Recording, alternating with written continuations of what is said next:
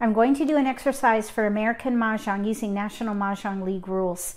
This exercise is called Charleston Sprints because I'm going to push myself to make quick decisions during the Charleston, which is half the game. I like to practice with sprints because I play online. You got to make really quick decisions when you play online or the game will toss a tile for you. And every now and again, I play in a tournament and you are playing on a clock. You have to play a 12 minute game. So I like to push myself to make quick decisions so that when I am in a high stress situation, I'll be cool as a cucumber. If you're new to Mahjong or if you already know how to play and just want to build your skills, consider subscribing to my channel. That way you won't miss anything. My goal as an advanced player is to make decisions in under two minutes. If you are an intermediate player, give yourself three minutes. If you are a beginner, give yourself four minutes and then push yourself gradually to the lower thresholds. When you get to that two minute mark, you can play online comfortably and you could even play comfortably in a tournament. I have my smartphone here with a stopwatch app. We're going to do five laps. Laps one, three, and five will be the sprints. Laps two and four will be setup. I'll roll these dice to determine which seat we're in with each sprint. I rolled a nine. That would be player three. So we're going to be non-dealer. I will get 13 tiles and create a mock Charleston with no jokers.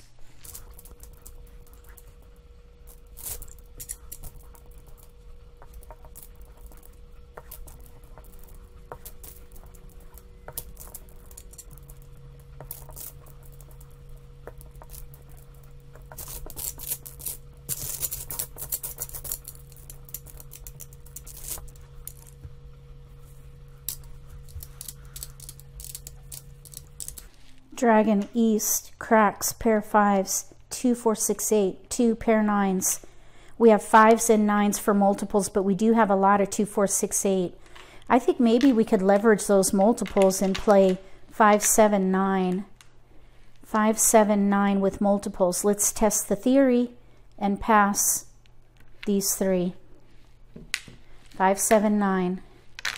We got a nine. Yeah, six, nine three, six, two, three. Wow, look at that, two, three. Let's focus on, ooh, let's focus on big odds.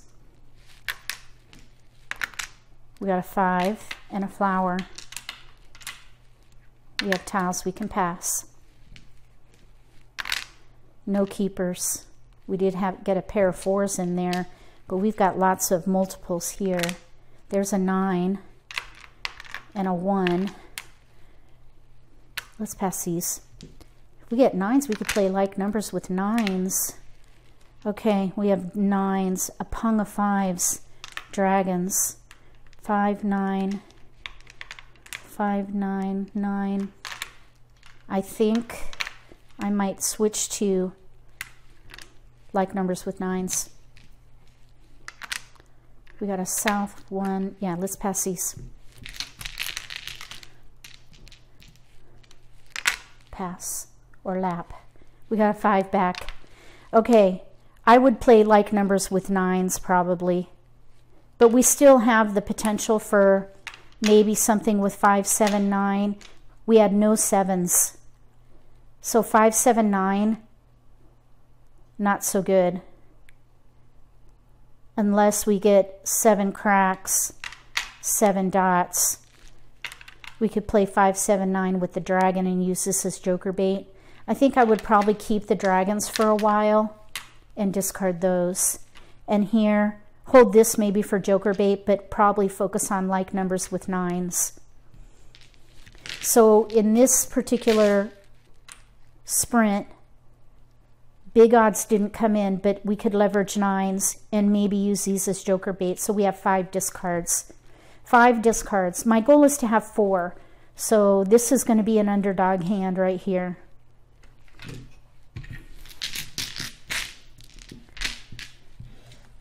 The next one will be player one since I rolled a five.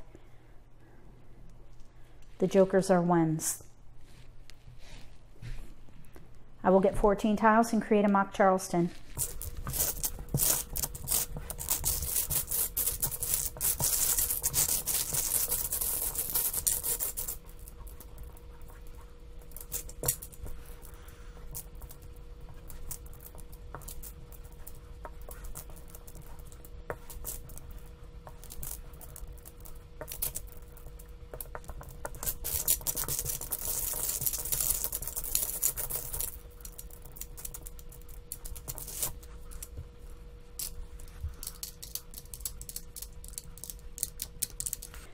Flowers, dragons, one, three, five, eight, single six, pair eights. So with these dragons, eight, eight, five, 13, addition, potential. Here's a 13 addition. Maybe we should try for addition here. Let's pass these three. There's a flower. Here's a one, one suit addition. Let's pass these three. We don't need another one. We need fives and we need eights. Okay, there's a five in a different suit. No keepers. Flower. This is why you don't want to pass flowers. No keepers, but we have tiles we can pass for optional. I'd like to not pass two wins, but I want a five dot. I don't think there are any in here. So we have four discards. We have our flowers, we have the help of a joker, and a multiple. All we really need in here are eights and fives. We've got the, the singles right there and the flowers for addition, 8, 5, 13. Four discards. That's not bad.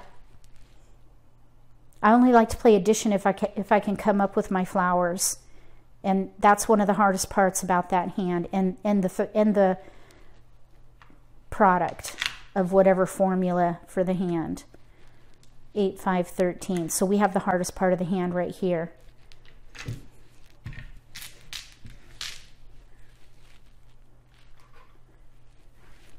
Let's roll for the next one. I rolled an 11. 8, 9, 10, 11 is player 3. Non-dealer. I will get 13 tiles.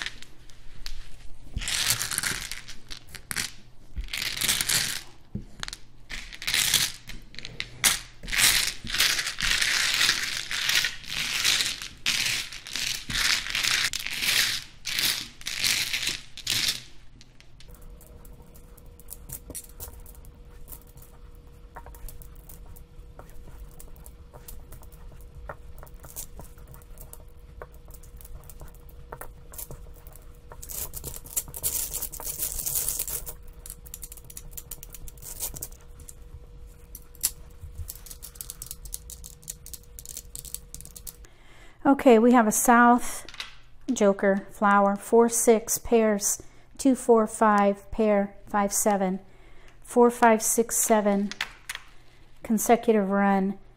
You might think, well, why not play evens? We have no eights. I would focus on four, five, six, seven. We only have two tiles to get rid of though. Let's focus on four, five, six. Let's discard the seven. There's a six and a five. Four, five, six. Three, four, five with fives. Let's get rid of the six and the four. Here we have eight, three, two. If we can get three dots, there's another hand there under consecutive run that might work. Now here we have like numbers with twos. Four, five, six. I think I would go ahead and give up the five. This is making me nervous. Okay, we'll break that up. Four, five, six consecutive in dots. Ooh, wow, there's a two. Let's keep it. We could maybe play a pair hand. Let's pass these three. No keepers, but we have discards, optional.